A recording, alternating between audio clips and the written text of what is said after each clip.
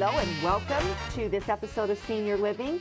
It is middle mid, July already. I, I I don't know where the time goes. We uh, I hope everyone had a happy and safe Fourth of July. It's been a great month so far. Um, finally getting some of those monsoon rains that uh, were you know officially kicked in in June, but we're starting to see them now, and uh, it's been a really big help. Um, fire restrictions are lifted, and uh, there should be some uh, some fun for the rest of the summer. We're still going to see high 90 type type temperatures, um, which is about normal for the Verde Valley for this time of year, and uh, still some great possibilities for more rain through the rest of the month. Um, very fitting and appropriate. It is National Hot Dog Month. It is National Grilling Month. So get yourself out outside and grill some hot dogs, and then uh, take advantage of National Ice Cream Month and uh, follow up your hot dogs with ice cream, and a lot of other great, great opportunities coming. Uh, coming around the corner. Um, Clarkdale con continues its concerts in the park. We have got um, the trips and field trips that Camp Verde, that the Parks and Rec Department at Camp Verde plans. Uh, a lot of things going on right here in Cottonwood. Uh, the uh, Cottonwood Clippers swim invitational swim team meet, which will be um, later in the month of July. All you have to do is get on the event calendar at myradioplace.com and you can check out all of the great activities that are uh, going on throughout the Verde Valley. And um, just in case, it's a very um, very mobile community here in the Verde Valley. One of the things that helps keep it that way for those that may not uh, may choose to not own a car or that have um, other other issues is our transit system here in Cottonwood. And our guest today is going to tell us a little bit more about how we can take advantage of uh, all the transit that is available and how we make the most of it. Thank you, Bruce Morrow. You are the transportation manager for the city of Cottonwood. That's correct. Thanks for joining us. Not a problem. Very simply, uh, as I understand it, it and I, I do not take advantage of the transit system here in Cottonwood. But one of these days, I've got to. I, I want to just. I just want to ride around and see how it how it works. But there are basically two systems that are available to us here in Cottonwood. Am I correct? We actually have three different types of service that we provide. We provide the service here in Cottonwood, mm -hmm. in Clarkdale, uh, the red and blue lines mm -hmm. uh, that cover pretty much all of Cottonwood and Clarkdale.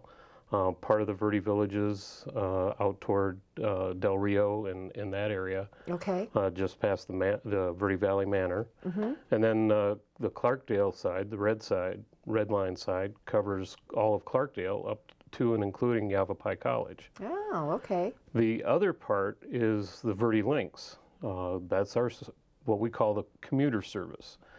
it goes between Cottonwood and Sedona. We make eight trips a day. And it goes, uh, starts at the library and then follows 89A all the way over into Sedona, uh, past Tlaquepaque, and ends up in uh, Poco Diablo Resort, where we turn around and come back and do it again. Make the return trip. exactly. Right. The um, and the two can be. Uh, you use you use the word cooperative, so uh, you can use, for instance, the CAT system, which is the Cottonwood Area Transit, right. to get to the library, where you would pick up a Lynx, um, Verde Link system bus, which would take you on over to Sedona, right? That's, that's correct. And, and right now we're in the process of, of making the schedules match a little better. Uh, so that so that it's possible to get off of one bus, mm -hmm. one of the red or blue line for CAT, mm -hmm. and hop right onto a Verde Lynx bus to get over to Sedona. Okay. Um, it's it's taking a little time to to figure out how to mesh all this together, but well, it's, it's, working. And I'm sure that the demand, um, as the demand increases and, and the need for that kind of service exists, it'll make it easier because more people will be taking advantage of it. Well, one of the things that I'm looking at doing this fall, and I hope to have it in place uh, by October 1st, mm -hmm. is a second bus for the Verde Lynx. Uh, oh, okay. To, to specifically in the morning and the afternoon, mm -hmm. to better enable our riders to get over to Sedona. A lot of our riders are, are working in Sedona. Okay. So by adding that second bus for the, the uh, two middle runs in the morning and mm -hmm. the two middle runs in the afternoon, it'll give them more opportunities to make sure that they can get to work. And we want to get them home as well. Right, that would be nice. that would be great. So, if I lived in the Verde Villages near Del Rio, let's say, would I take two buses then to, if I had classes at Yavapai College? You would have to take two buses. You would you would take the blue line into the library and catch mm-hmm. the red line there, Okay. and the red line will take you up to the college. Oh, okay. That's not that bad. That's pretty pretty simple. It usually takes if if you get on in on Del Rio or anywhere out western in mm-hmm. that area on one of our stops, it will mm-hmm. take you probably about 25 minutes to get to the library, get on the red line, and then get up to the college. Still not too bad. If the alternative was walking, I think I'd choose the I think I'd choose the transit system. It seems very affordable to me. Um, when I uh, when I've looked at the website and just kind of figured it out, it seems like it would be a very reasonable alternative. I happen to drive a little bit of a gas guzzler. It I, it seems to me that it might make sense.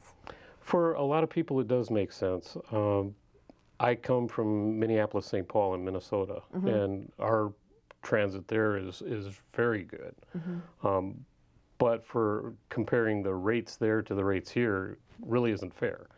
Uh, we have a much smaller population, of course. I was going to say, I think there's a little bit of a different in po- size difference in size and population between us, but but probably uh, probably you got some good ideas from all of that. Well, I did. One of the things that, that I did, they were doing it before, but I improved, well, I consider it, I improved on the pass system that we have.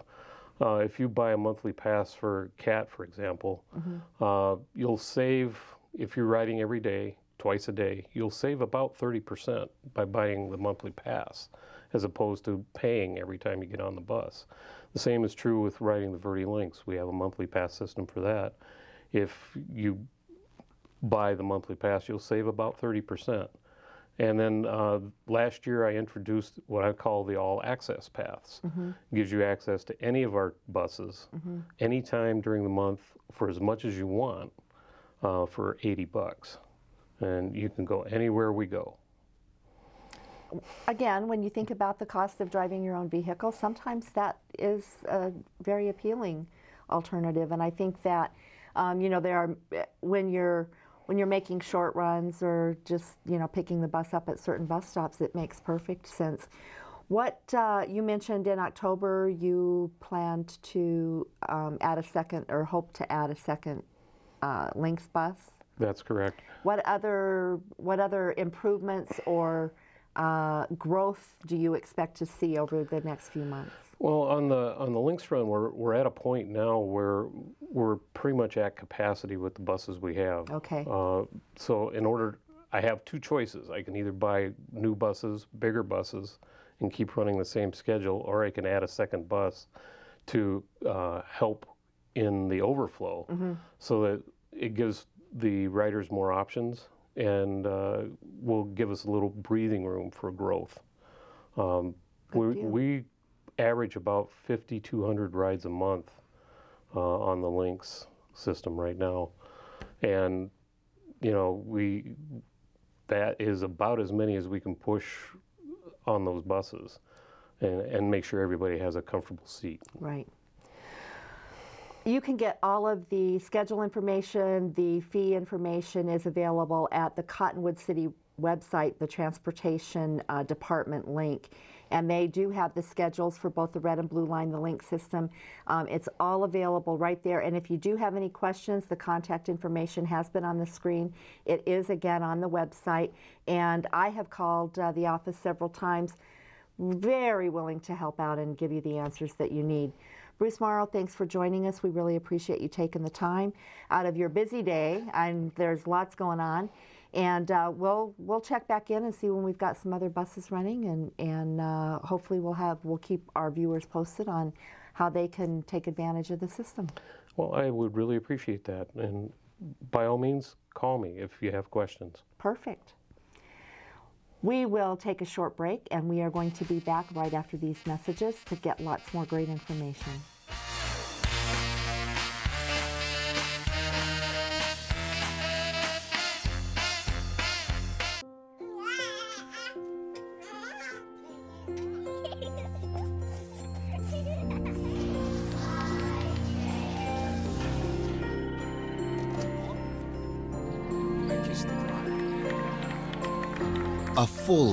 Measured in seats, starts with the right ones early on. Car crashes are a leading killer of children 1 to 13. Learn how to prevent deaths and injuries by using the right car seat for your child's age and size.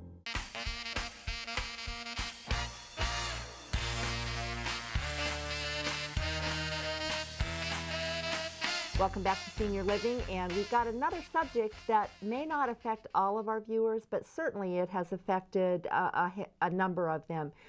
As things kind of change and we start looking at uh, retirement, possibly how we're going to enjoy the rest of, uh, of our lives, sometimes our home ownership and what to do with our houses becomes an issue.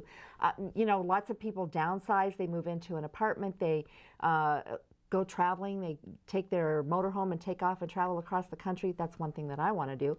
But yeah, but the um, but then the the question of how to handle it. Do I sell my home? Do I hang on to it? How do I really approach that situation?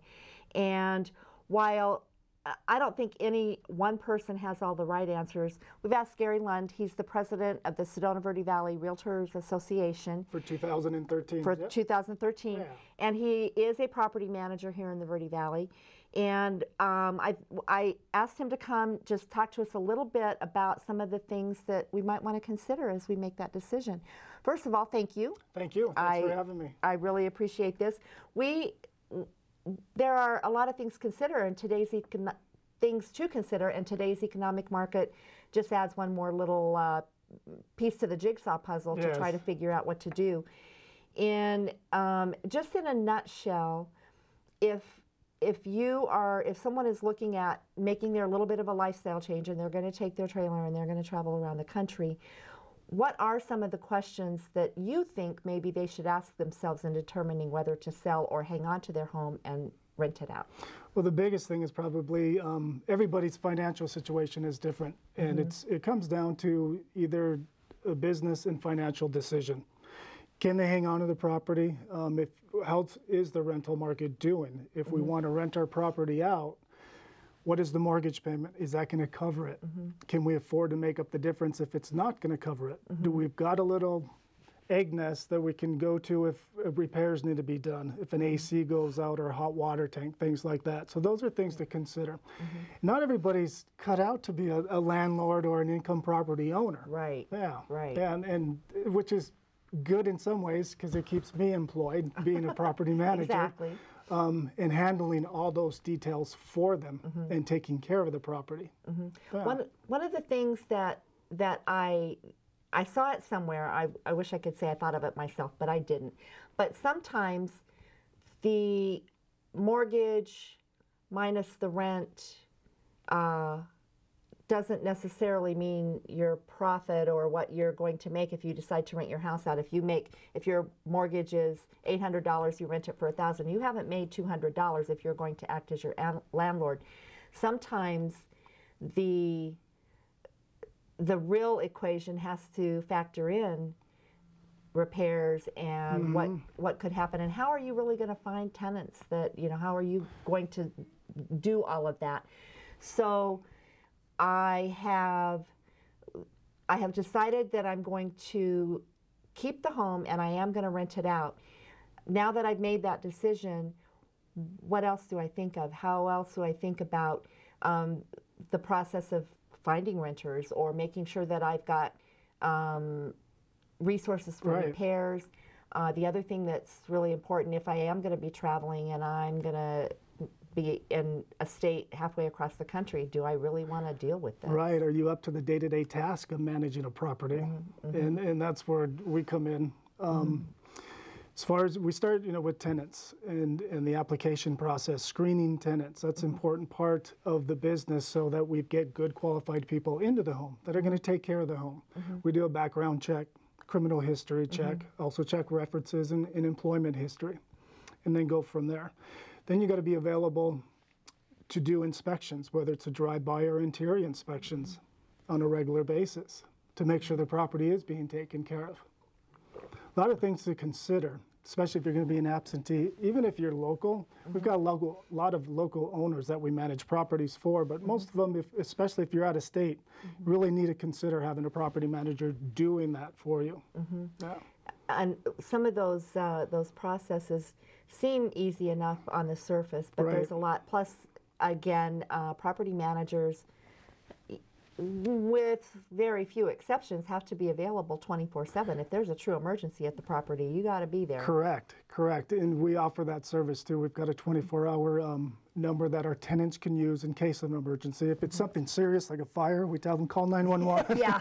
we don't put out fires, but we can we can definitely if there's things that need to be done, a leak, things like that. Mm-hmm. Yeah. There are there are a lot of different things to think about, and I, I guess again in the economic market, the first thing, of course, is if I if the rental market doesn't uh, isn't standing up to the amount that I need to cover my mortgage, i- i- is it worth it for me? I, there's I guess what I'm saying is there's probably a, a good point to maybe discuss something with your um, financial resources. Make sure that there's a way that you're going to be able to Correct. if not make money to use it to your advantage if you mm-hmm. are going to have to take a loss in the rental rate. Yeah. Okay. Yeah. And that's a word, it's good to know what the market is, uh, mm-hmm. what fair market rents are. You mm-hmm. want to be competitive in the market. We've been, the rental market right now is really good, and we're, we're renting things fast.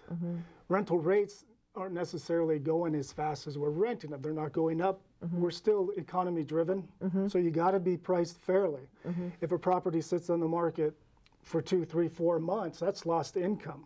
Waiting for that extra fifty dollars a month because you're priced too Good high. point. Right. Good yeah, so you really want to know what the market's doing. You want to be fair market rent, just Mm-hmm. like if you were selling your home. You know, you want to be a fair market value. That's that's that's good advice.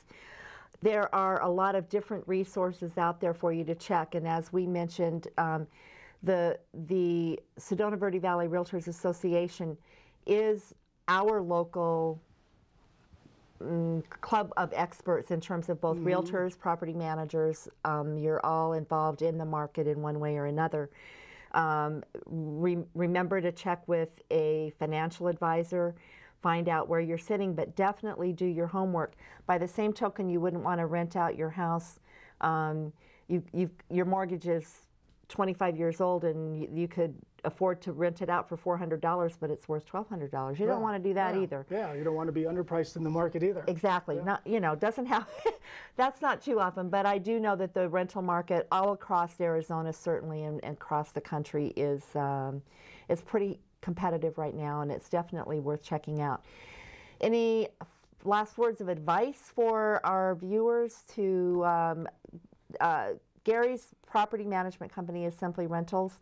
They are a local company, been around for um, as Simply Rentals. It's relatively new, about a year now. Since the first of the year, and actually, um, my partner Deanne Reber has been in property management since '96, and we actually bought out another property management when we when we started. Yeah. That's true. I was going to do something because I know Deanna a little bit. I was going to say she's been around forever. She has, she has, and she's wonderful. Yes, she is. I'm lucky to have her. there are a lot of property managers throughout the entire Verde Valley and Sedona. There's a lot of places to get information.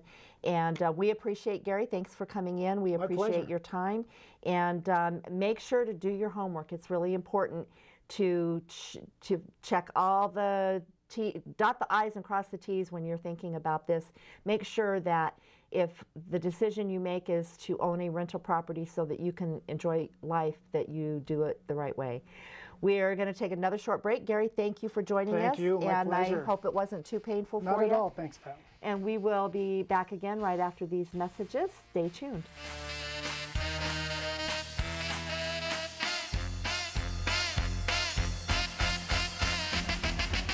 Know what?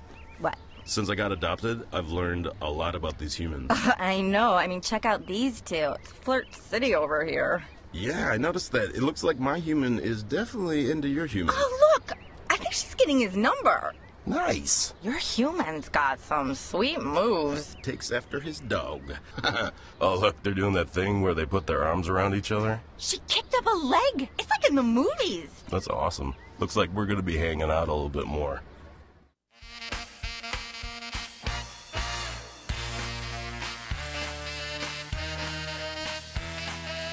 Welcome back. We have a special guest in the studio today that um, we are going to get a little bit of information about the Cornville Mission and Food Bank. It has, it's one of the younger ones here in the Verde Valley, but because, as we've talked about many times, the needs uh, of our um, Old Town missions, of the of all of the food banks, any of the the folks that that help us out, um, sometimes they're a little overwhelming. And I invited the Cornville Mission and Food Bank in to talk a little bit about all the things that they do. As I mentioned, they're a little bit newer. With us, though, is John Wright. You are have been with the mission for a while. A few years, a few years now, yes. Thank you for coming in. We really, really appreciate it. Um, tell us just, give us just a little bit of the history um, as you know it for the Cornville Mission. Well, first, I'd like to just thank everybody for all the things that they've done to this point to help us out and get us this far along. That's And We just really appreciate that. Yeah. Uh, uh, Greg Roller and uh, Sandy Cravens uh, started uh, the Cornville Mission Food Bank Mm-hmm. uh, a few years back. They started out of the uh, Riverfront Park feeding and then evolved into the Cornville Cornville group. We've moved a couple of times and uh, we're pretty well settled in now to our current facility and uh, uh, we're, we're doing okay. You know, we, we struggle like all the other ministries and uh, for the same funding, and so it's it's important to us to be good stewards of everything that we do receive from everybody, and that they can trust us to do what's right with the money and, and put it in areas that are truly uh, needed. And uh, and we don't have any paid staff at this point. point, and so everything that we do get is uh, our full weight of uh, the finances go into just servicing the community. I know I see Greg and Sandy every once in a while out in the community, just uh, uh, if not accepting donations, thanking people and, and making sure that everybody knows how much they're appreciated, which I think is pretty special. Absolutely, we need to we need to just you know uh, keep hitting on that. That uh, the people who are unseen are so important to us, and we're, we're we're very thankful again for all of them. And and uh, of course by name we couldn't possibly go through that list, but but you know who you are, and, and we do appreciate it. Well, thank you. What um, what are all of the mm, the focus of the mission right now? There's there you accomplish several things every single day that you're open. Tell us a little bit about all the things that you do. Well, we've tried uh, several things over the years, like a lot of the other ministries. We put our, our feet in the waters of having a, a thrift store, and, and that uh, financially wasn't uh, probably the best thing to do uh, in retrospect. But uh, now we're just focused primarily on just providing food for the truly needy. And uh, we, because we have narrowed that, we've also uh, lessened our, our uh, uh, financial needs, which once again is important, especially in these times. And so we're just doing uh, uh, the government TEFAP program, which is a food box for once a month they can come and get. And that's uh, uh, brought to us by St. Mary's. And St. Mary's uh, Food Bank out of Phoenix, or yeah, out of Phoenix, also uh, provides uh, fresh produce uh, for us when they have it. Everything's in season, so there's nothing stored ahead. And a lot of that comes just in the nick of time when it needs to be handed out. And so uh, we try not to withhold anything from anyone uh, during those uh, distributions. Uh, but also, we have a great number of people that come there. We have around 3,000 a month. Wow. And in, in June of last year, we had 3,700 come through there. And so we see the need is great. And of course, those same people hit other food banks as well. Uh, but some of the people in Cornville can't uh, quite make it in because of the, the, the gas or transport, even basic transportation they don't have. Some people carpool. And uh, we just try to offer up whatever is given to us. You know, freely we've received, so freely we give. And uh, we, uh, we don't do any hot meals anymore. We- Okay, I we was did- wondering about that. yeah, we because that also costs us a lot more money than we had available, Mm-hmm. and so we've just really just trying to pay the rent and uh, keep the electricity going and and uh, wait on on whatever comes to us, and we're thankful to have that and offer that up. As are many of the people that visit the, the mission, I'm quite sure.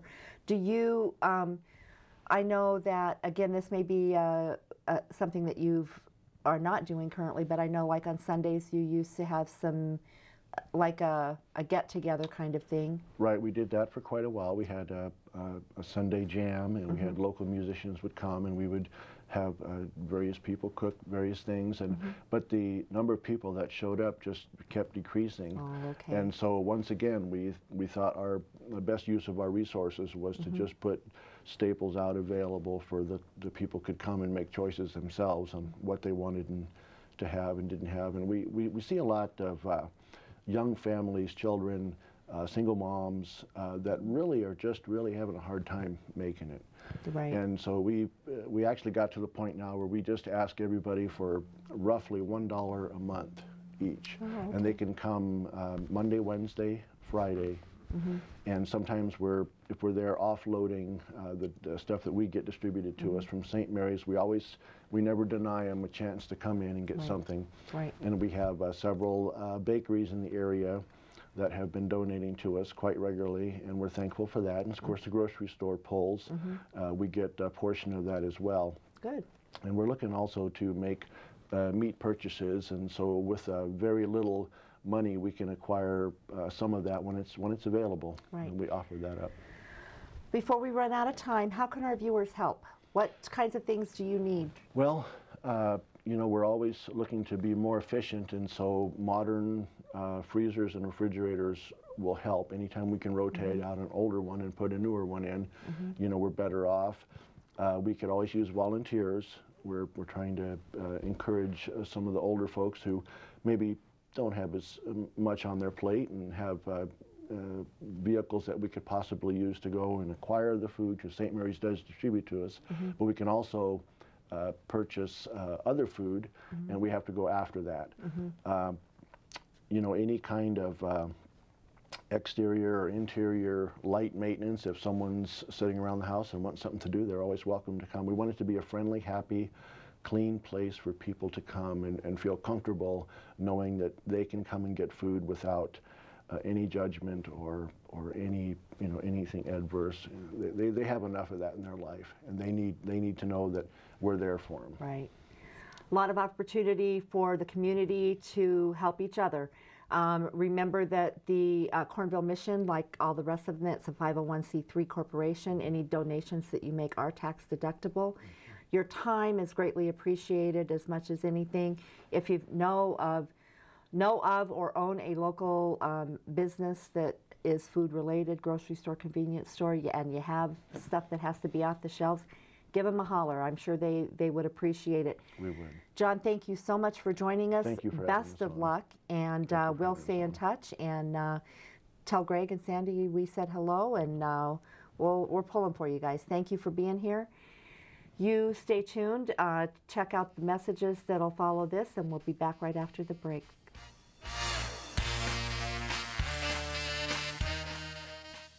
Thanks for calling the GED Pep Talk Center. Jerry Stiller speaking. Your level 7 in your face pep talk. I can keep pushing. Believe me, I'm good at it. But at some point, you're gonna need to start pushing yourself. See, Once you've got your GED diploma, y- you'll feel so good about yourself. You tell them. You can't change your past, but you can definitely change the future. That makes me so happy, I'm ready to bust out a dance. Mr. Trejo, can they transfer this guy to you? My gentle technique isn't really working. You need something a little more. Persuasive.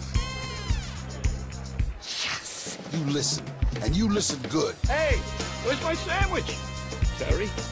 Terry! Take it from me, the King DMC. It's a real cool thing to get your GED. Get that diploma!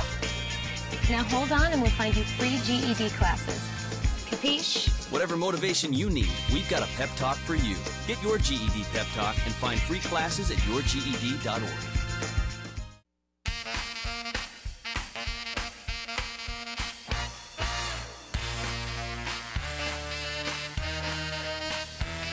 Welcome back. Along the same lines as our previous guest, Mr. Wright from the Cornville Mission, there are so many opportunities in the Verde Valley for um, all of us to help out fellow, fellow community members. And one has been in the headlines quite frequently over the last few months because we are so fortunate to get to welcome Sergeant Jordan Maynard and his family into our community. Sergeant Maynard is a veteran uh, that was injured, and the Homes for Our Troops is building him a specially equipped home to meet the needs of his handicap. And there are so many bits and pieces to this. that we don't always think about on a regular basis. Yay, they're building him a home. Yay, he's going to get to join our community. There's a lot more involved to that. And we are joined today by Pam Van Winkle and Mayor Diane Joens, who have both been very involved in this. And they are working to help support the Homes for Our Troops.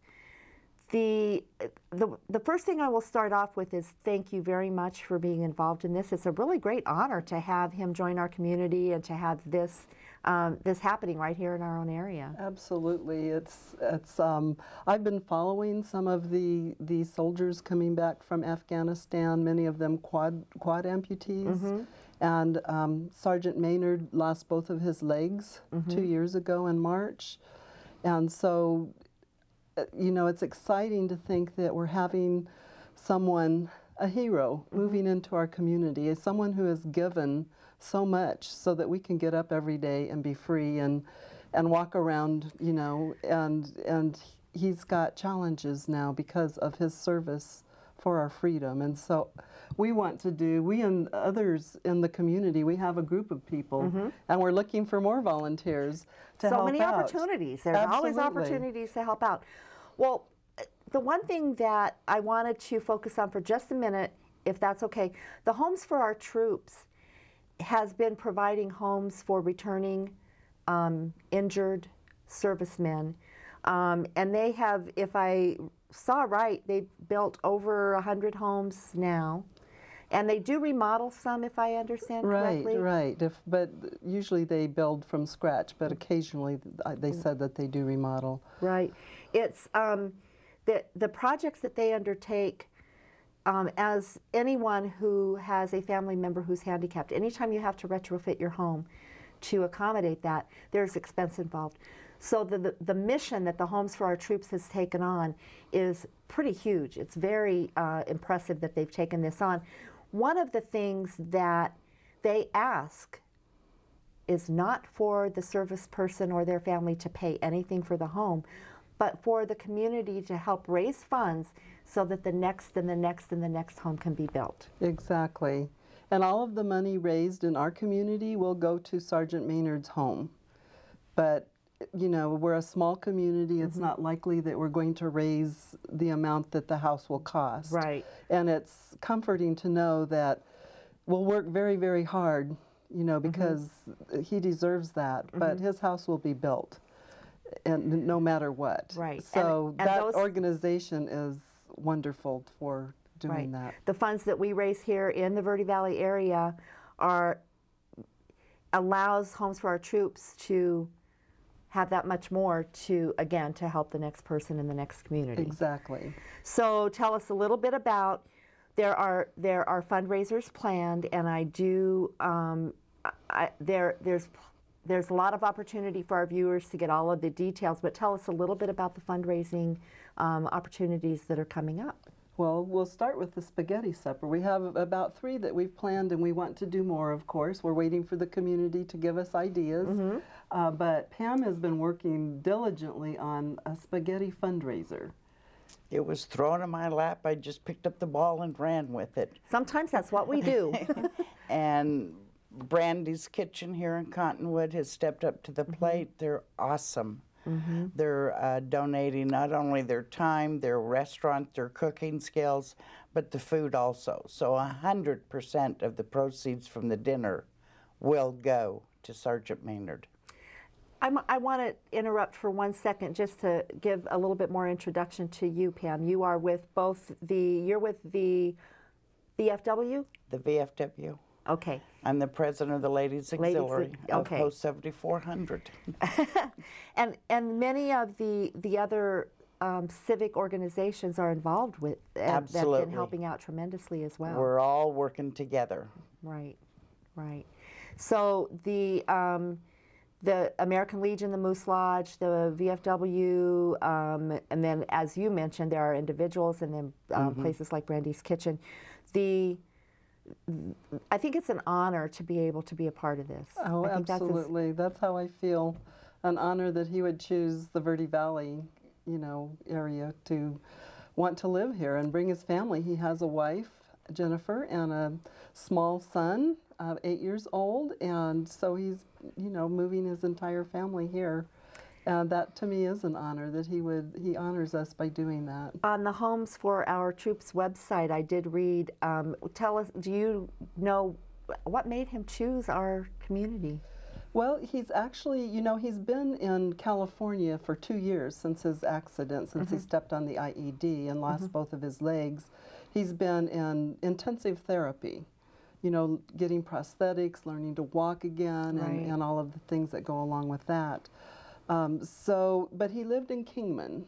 Oh. And his wife is from Flagstaff.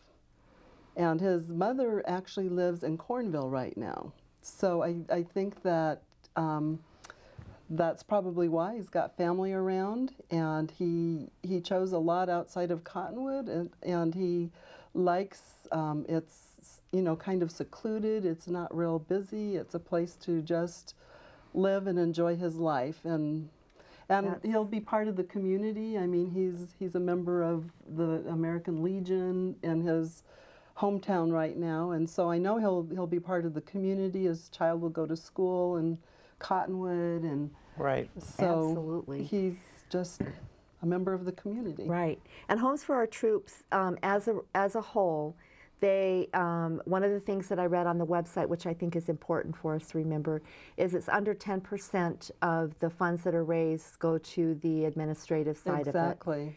So 90% of everything that they raise goes directly to assist our veterans that have been injured and help them.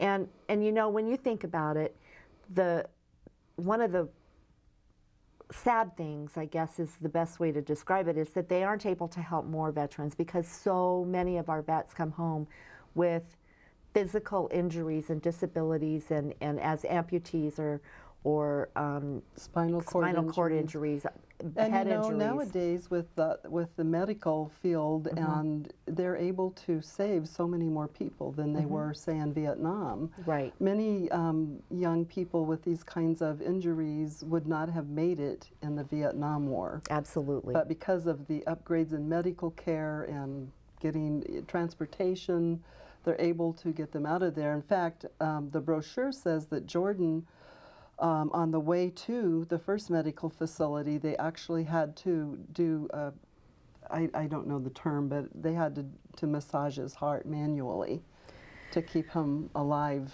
until they could get appropriate medical care. Then that I mean, of so he, technology uh, is at least there for he him. is you like a miracle, He is. That's you know? We don't have as much time as I know that we would all like to have to talk about this, but lots of fundraisers. Um, the the website for um, Homes for Our Troops is H. Now I can't. It's okay, been on the screen. Okay, um, www.hfotusa.org. US, right.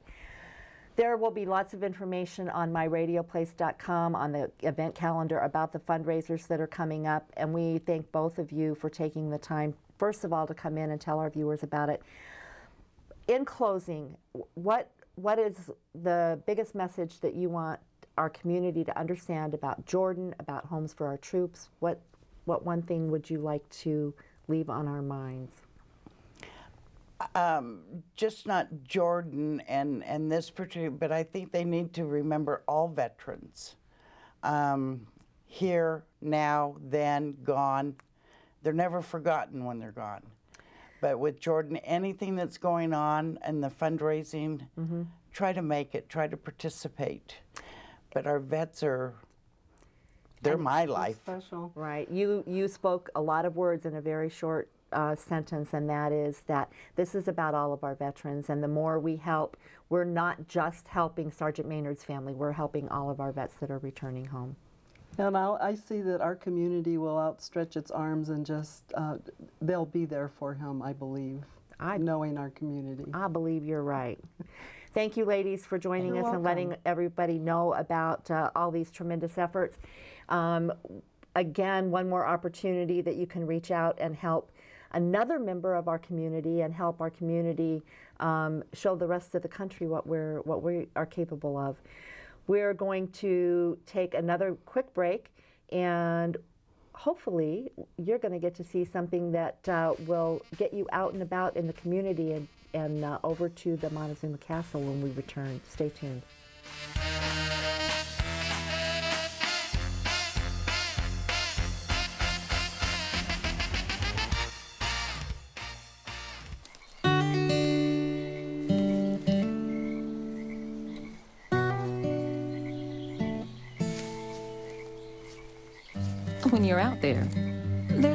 What you'll find. I see it, I see it. Oh, look at you. There are some moments only the forest can inspire. Find yours at discovertheforest.org.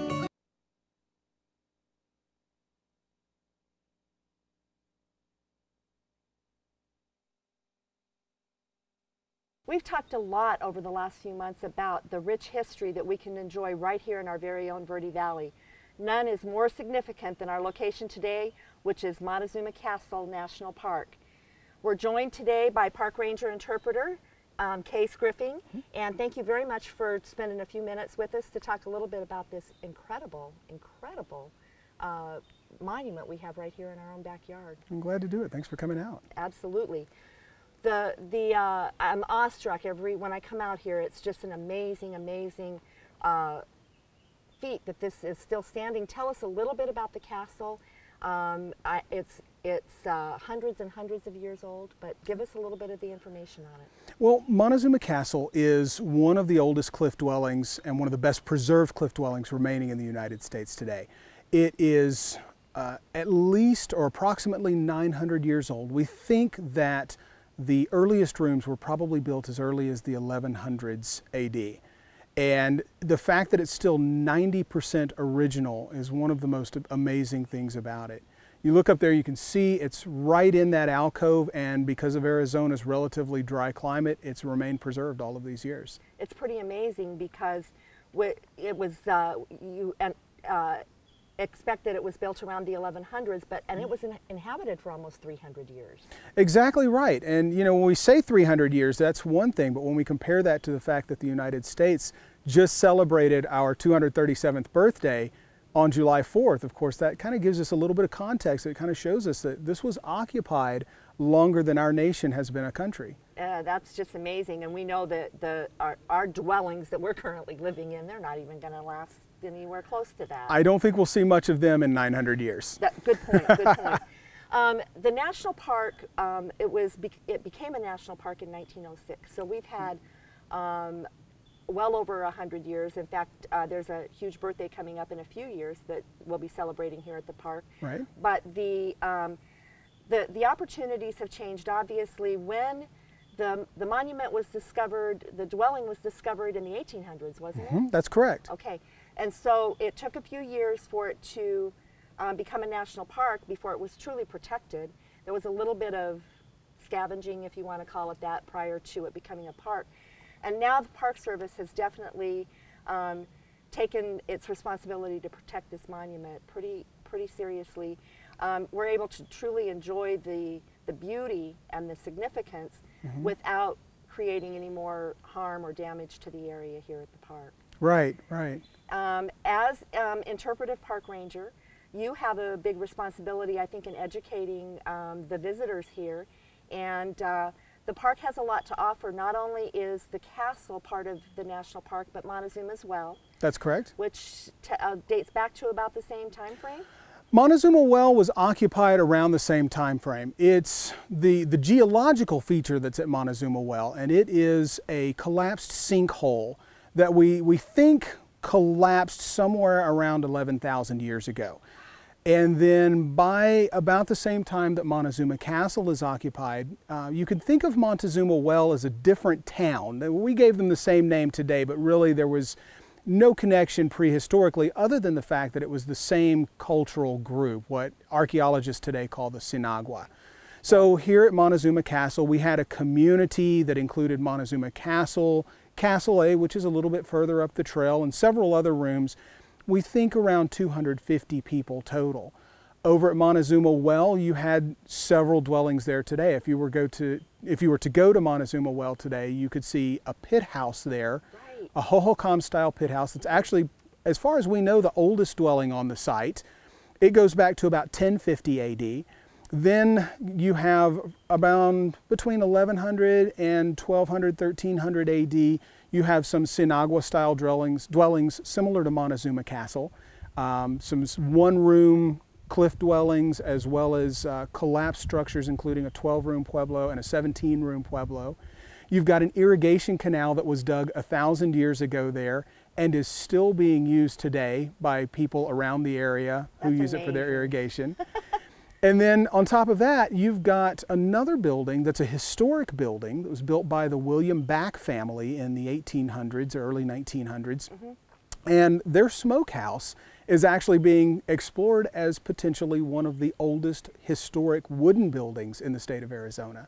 That's so amazing. there's a lot of historic and prehistoric buildings there. Well, we've given our viewers uh, a little bit of uh, a little bit of the the education they can learn here at the park. Tell us a little bit about some of the uh, about the hours, the events. I know that the you can get into the Montezuma Castle National Park 364 days a year. You close Christmas Day. That's right. Tell us a little bit about the hours, the events, how people can take advantage of this. Well, that's, I think, one of the greatest things about the, the monument. We're open, as you said, 364 days a year. We're open Monday through Sunday. We don't close on weekends. We're open on almost every holiday of the year. If you had been here on July 4th, our Rangers would have been right here to serve you. Um, we open every day from 8 o'clock in the morning until 5 o'clock in the afternoon. And we are trying to do much more than just the programs that we have for people from out of town. We've really started trying to get a lot of programs that will serve everybody, not just folks from out of town, but our local community as well. So back in June, for example, we had the uh, Moonlight Flute Concert. Uh, artist Wolf's Robe was here. Montezuma Castle was lit entirely in moonlight. Of course, it was the night of the supermoon that we had that. That is awesome. And it was beautiful. And we're planning to do another concert like that in the fall. We haven't pinned down the date yet. But we have concerts like that. We have star parties, um, both at Montezuma Well, which our next one will be October 12th. Um, we usually have one in the springtime over at Tuzigoot National Monument, which is our sister park. Right. And then uh, other things that we do, for example, um, earlier this year we had Hubbell Trading Post came over and they brought rugs, Navajo rugs, um, which was really a neat thing because this site thrived in trade. And so even though the Navajo were not at this site prehistorically, other cultures uh, beside the Sinagua would come to Montezuma Castle and they would trade with the Sinagua culture. So it was neat to continue that tradition of trade. Absolutely. We have basket weavers that will come periodically, flint knappers, and, and many of the people that come to our, um, our different demonstrations today are from modern tribes whose prehistoric ancestors were affiliated with this place. Right. Much of, many of the Arizona tribes are descendants of what were the once the Sinagua. We have eight tribes today mm-hmm. that are affiliated with Montezuma Castle National Monument. The Hopi and the Zuni both trace their ancestry, some of the people specifically to this place. The Yavapai and the Apache say that while they did not actually live inside the castle, they were in this area as hunter gatherers. And so they mingled with, their ancestors mingled with the ancestors of the people that were here. Uh, and then several of the O'odham groups in southern Arizona say that their ancestors traded with the Sinagua. And so we have eight different groups today that still see this as a very special place. Lots and lots more information that you can get right here at Montezuma Castle National Park. You can get the whole schedule of events at um, nps.gov Correct. slash MOCA, which is the first few letters of Montezuma Castle. That's how you can remember it. The entire schedule is on there. Park Ranger Griffings, thank you so much for being with us. Thank you. It was a pleasure. Get out here and enjoy it. I will tell you, you've seen some of the shots. There are many photos of the of the Montezuma's castle and the well that are absolutely beautiful. Nothing compares to seeing it in real life. So come on out and enjoy our very own rich history. We'll join you right back in the studios after these words.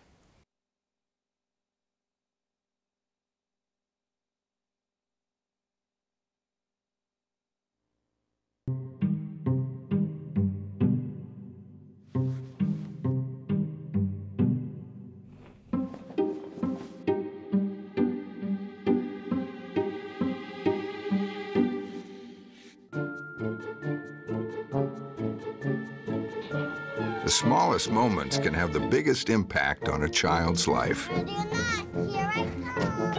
Take time to be a dad today. On the banks of the Verde, where the cottonwoods grow high at the end of the road, a legend lives forever of a rider in the sky, and his stories often told. At night, you can hear his hoofbeats loud and clear as he rides all alone in the dark on the banks of the Verde on a ranch called Blazing M rides a man, brave and bold. His guns are loud as thunder and there's lightning in the wind as he searches for his gold. At night you can hear his hoofbeats loud and clear as he rides all alone in the dark On the banks of the Verde rides a ghost from long ago on a ranch called the Blazing M. On a ranch called the Blazing M.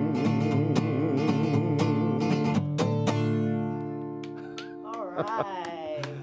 Why? Bill. Bassett, our very own Verde Valley's Bill Bassett, is joining us in studio, and we so appreciate you being here. That was awesome, by the way. Well, well, thank you, Pam. Thank you very much. I don't know that there's a whole lot of introduction. Many of us know Bill from the Blazing M, um, from his days with the Retros, and now you are out and about again um, with right. Bill Bassett's Trailblazers. Bill Bassett's Trailblazers. All right.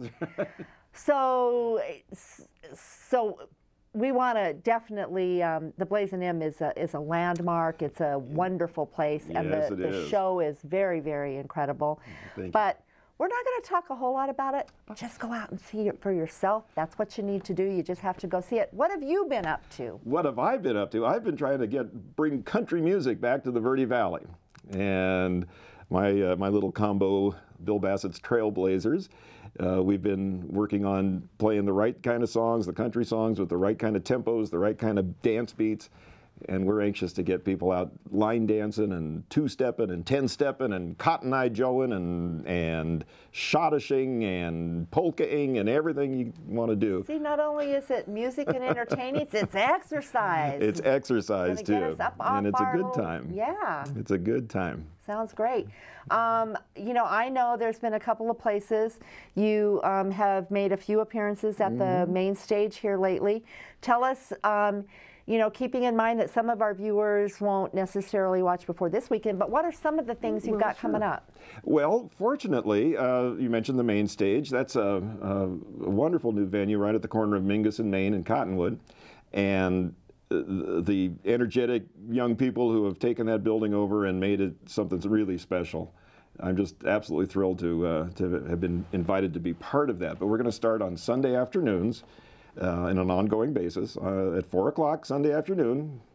And we're going to start playing real country music there and hopefully invite members of the community out. They, I'm, I'm uh, uh, just so excited that we're going to finally have some place where we can, can do this consistently and hopefully build a following, get people out to enjoy the music. I know I was pretty. Um, I, I, tend to be a, more of a country music fan. Uh, uh, not totally, but more. But it was. It kind of warmed my heart when I heard him that, that they said, "We've gotten too many requests. We've got to have a country music Sunday. It's got to happen." Got to have a country music Sunday. Well, and they do such wonderful other other nights of the week. Uh, uh, their first Friday is an Mhm. art gallery presentation. Uh, other nights, uh, alternative rock bands, uh, groups you might not have heard of that, that deserve a listening to. Yeah. It every night is a different event, um, and every one of them is exciting, and Yeah. and it's just a thrilling opportunity. I um, I would have to agree. Um, so that's on Sunday. What do you do with the rest of your time besides be at the Blazing M? Well, gosh, I'm I'm very much a couch potato. Oh. But, No, but you're up all night playing. No, yeah, hardly all music. night, but um, no, I, I, I work on on music at home. I uh, um, I'm active in online social media. Woohoo! I've seen your Facebook posts. You've seen my Facebook post, yes. Well, Well, I think that um, there's a there's a lot going on, and we'll definitely um, keep in mind where you're going to be when you've got your next um, thing coming up. that. And uh, again, uh, Blazing M is always a great place to go see this man's talent, along with the rest of the Blazing M Cowboys. They're oh, awesome. They are uh, Jim Martin, Jeannie Martin. Uh, we are so blessed to have them here. They came out here a few years ago from New Mexico to join We've us. actually been blessed to have them on the show Well, um, yeah. last year too. It was awesome. and they are they are dynamite. Um, you just couldn't ask for better entertainment. I'm again just honored to be part of that whole show. I've been there over eight years now, and You're an old timer. I'm an old timer now. So, but everything from the, the food, the hospitality, the staff, the the uh, attractions, the the activities, uh, every one of them is so well done. Yeah. And And it's I, I I do I try to remind our viewers often that um, sometimes places like the Blazing M are considered. Um, Oh, when, when we have company come in, or we'll take the family. The truth is, you need to get out there and enjoy it. It's one of our great, great local attractions, and it's all well worth it. Um, so, again, we're, we're not going to spill the beans about the show too much. um, if you haven't seen it uh, or haven't seen it in a while, you need to get out and check it out. Stay um, in touch with Bill Bassett on his Facebook page. You can friend Bill Bassett's Trailblazers That's on right. Facebook. That's right. Uh, if I may, a, a couple of other Please. events. On uh, August 2nd, Friday night, August 2nd, Mhm. the Blazing M Ranch is hosting a fundraiser for the for the Granite Mountain Hot Shot Mhm. for the families of the uh, of the tragic tragic loss of the uh, firefighters in Prescott. Right. And that'll be from six o'clock on uh, Mhm. On August 2nd, Friday night. Okay. And every everything is donated to the families. Perfect. Uh, tickets are only twenty-five dollars, and you can get them at a variety of places around the Verde Valley. Certainly at the Blazing M Ranch. Right. All that information is available online. Online, yes, it is. BlazingM.com. All right. What else you got? Well, let's just see. Oh, there's a there's a uh, another of the murder mysteries. um, I saw at the that Blazing one's M coming Ranch. up. So you may want to check the webpage on that one too. Um, I believe that's August Absolutely. 9th. I think I think you're right. You can get all the information that you need either on um, Bill Bassett's Trailblazers Facebook page, the Blazing M Ranch. As always, at myradioplace.com, we have all of that stuff on our event calendar. And uh, we want to remind you to check all that out, remind you to check out uh, some of the places that we've been able to visit uh, about today. And with that having been said, thanks for joining us. And we want to listen to a little bit more of Bill Bassett's wonderful, I want to say cowboy music, but maybe This you're not going to, okay? This is a terrific cowboy song, one of the best cowboy songs ever written. My home in Arizona. I got a new pair of denims with the bright yellow stitching and the red copper rivets on the seams. I got a 10 gallon Stetson full of $10 notions and a $10 bill inside my jeans. So get out of my way, let me by. I'm a long way from my home in Arizona, Arizona. Spending many a day on the trail since I left that gal back home in Arizona, Arizona. I remember her eyes like the lonely desert skies when she promised she'd wait just for me. So I'm hitting the trail, gonna ride till I see the lights of home in Arizona, Arizona. Woo! Yay! Thank you.